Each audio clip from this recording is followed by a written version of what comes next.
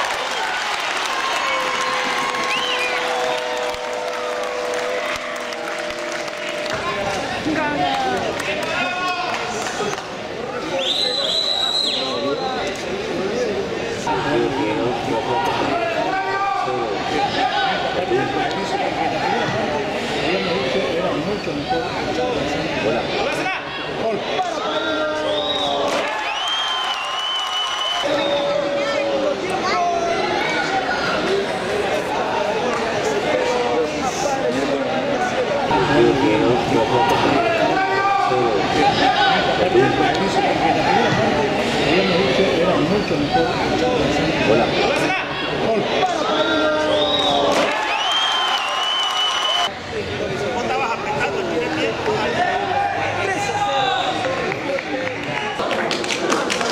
Ahorita ingresó el número 9 del equipo de River, que está perdiendo por 3 goles contra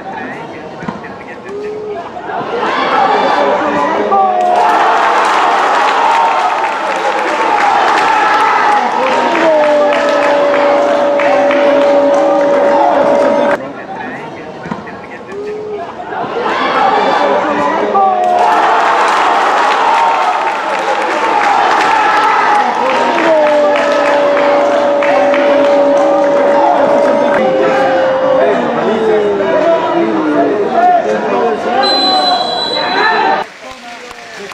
Victoria de Torre Fuerte sobre River.